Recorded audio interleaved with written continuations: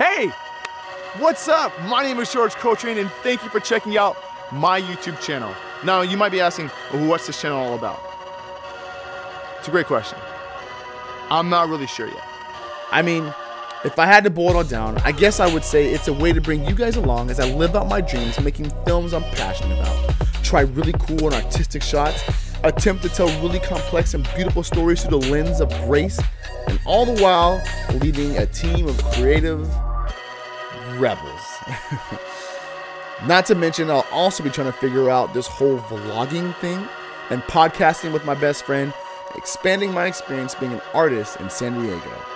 Basically, it's an all around creative outlet for me to make art that doesn't really fit in the confines of, well, church.